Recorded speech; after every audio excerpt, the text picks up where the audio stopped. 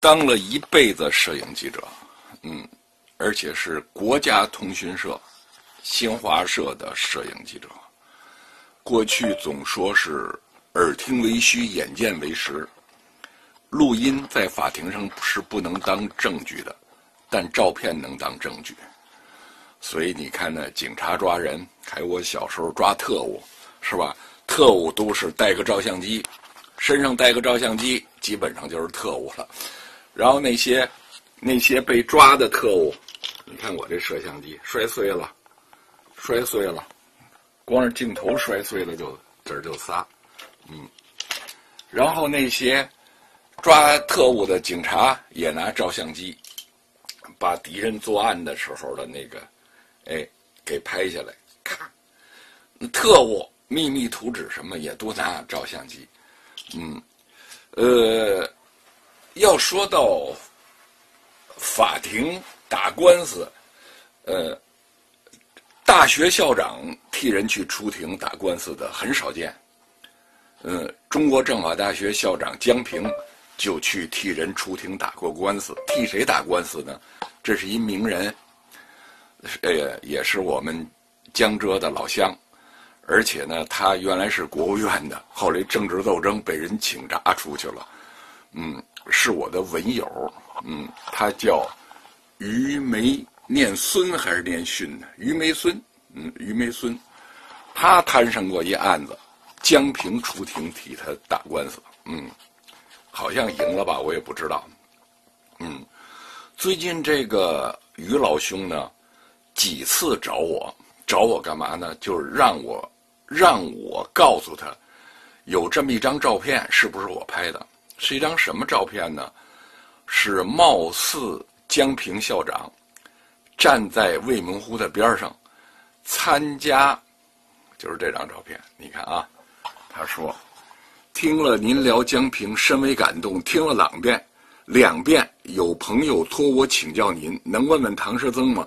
这张照片是他拍的吗？就是这张照片。”嗯，这张照片是什么呢？是说燕京大学建校一百年，江平在燕京大学，貌似这背后是个墙，嗯，而不是北大的未名湖，啊，如果去过北大未名湖都知道，这是个石坊，嗯，要上石坊呢，中间有一个跟海峡似的，啊，或者跟半岛的似的。我认为江校长这瘸腿，他当右派的时候想不开，在门头沟被火车给压了一下，把右右腿吧，我觉得是右腿给压断了，右腿，所以他是一瘸子，他蹦不到北大未名湖的这条船上去。嗯，但这有什么重要呢？这于老兄就一而再再而三的，老就问我这个问题。你看，这是第一次，这是第二次。堂兄您好，有朋友请您确认此图是您拍的吗？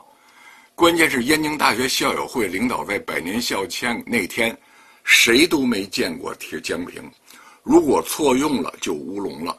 可是这张照片，又是谁拍的呢？网传都是您拍的。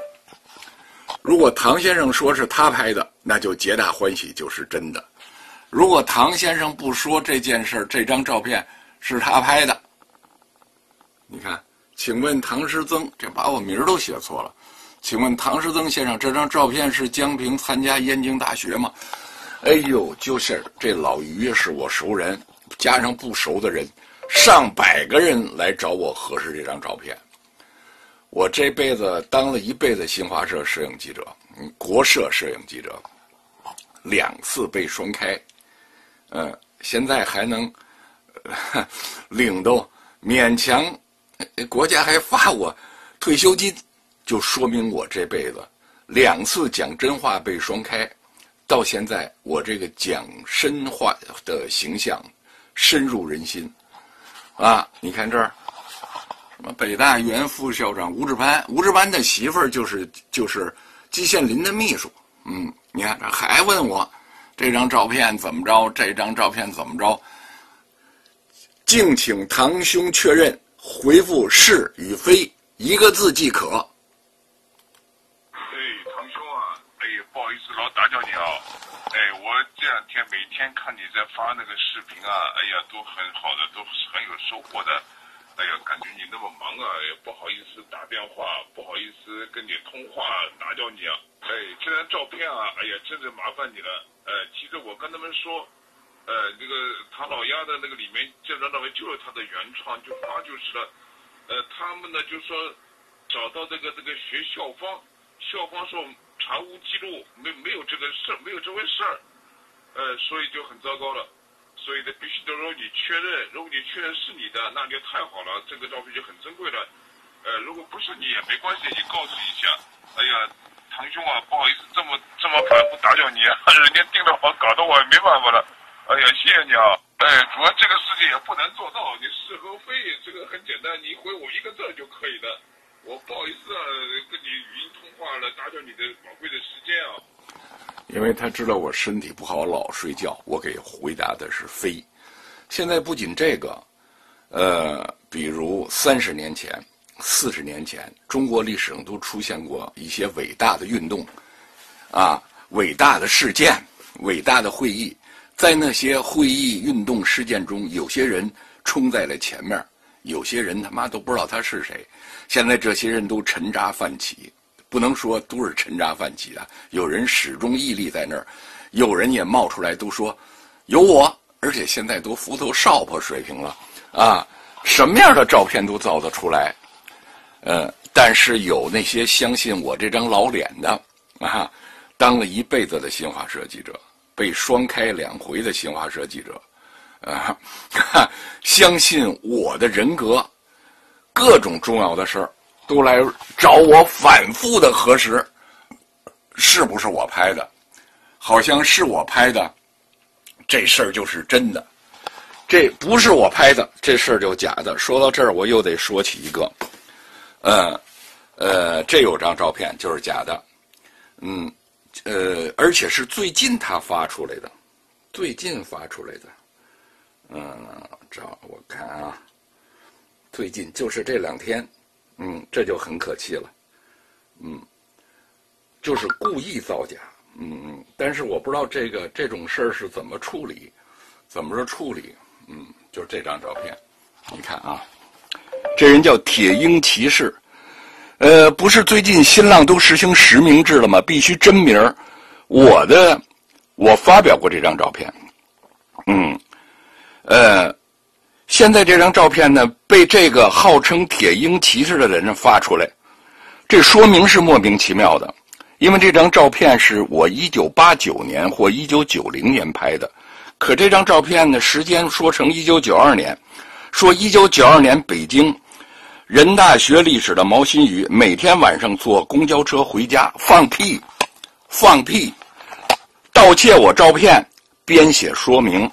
侵犯我著作权版权，还编出这莫名其妙的招呃时间、地点，啊，完全胡说八道。拍这张照片的当天是我，中华英才国内部主任吴林。那天吴林宰我，让我请毛新宇吃饭，结果在北大南门的长征食堂，把我身上的钱都给吃光了。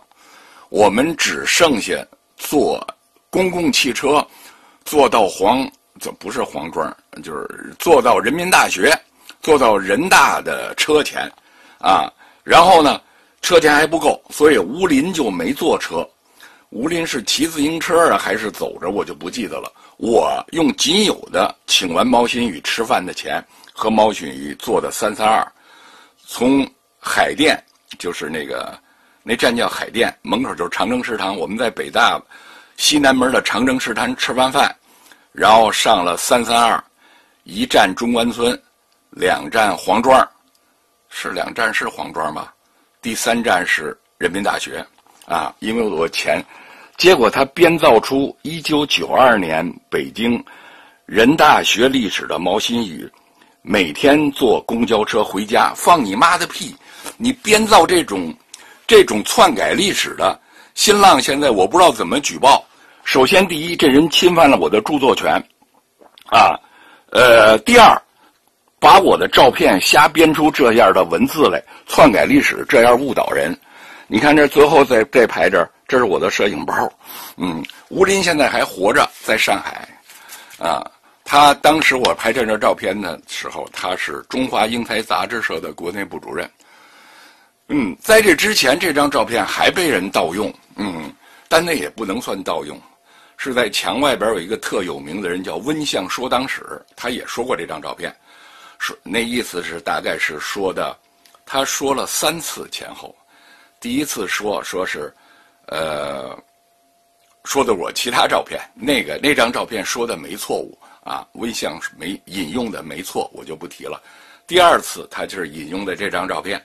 照片呢？他也是说说毛新宇每天坐公共汽车上下学，胡说八道，不知道谁编的，是吧？把我照片拿走了，然后我就做了一节视频，因为我我不翻墙，我是守法的人。嗯，任何法律只要法律规规定不翻墙，我就不翻墙。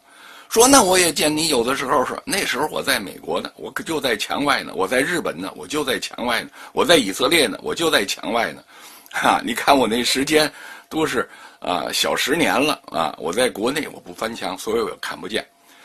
但是别人告诉我之后，找我核实这件情况，我作为一个新华社摄影记者，作为这张照片的作者，我就有必要出来来核清事实啊。呃，今年二零二四年，那个我党要打网络造谣，这就是个网络造谣，是吧？这就是网络作谣。今天我还活着呢，我可以指出这是个骗子，拿了我的照片在这儿瞎弄啊，呃，而且涉及伟大领袖的后代，我不知道他编出编造这样的说明是什么意思啊，所以我要求新浪，你快点处理这件事儿啊，你要不处理这挂着就是有损我我党啊，我党我国。嗯，我就不说了。嗯，温相呢，听到了我说的这节目之后，他就重新又做了一节节目，啊，说这张照片的作者唐先生怎么样怎么样。现在我更正，哎，过了一段温相更彻底，干脆就把他做的这两节节目都给删了，啊啊，都删了，那影响就不存在了。但互联网是有记忆的，嗯，尤其在现在。呃，Photoshop 横行，所有人都把照片美颜了再用，嗯，嗯，当然也有好多认真的人，江平帮着打官司的这个老于是吧？哎，他就为一张江平是否参加燕京大学的这个会的照片，十几次，还包括他的朋友，请敬请堂兄确认，回复是与非，嗯，对于那些。网络造谣、盗用别人知识产权的人必须打击，嗯，必须打击，嗯，新浪赶紧处理这个用假名盗窃我照片、编造毛新宇每天坐公交车，把时间从一九八九年、九零年篡改到一九九二年的这个坏人，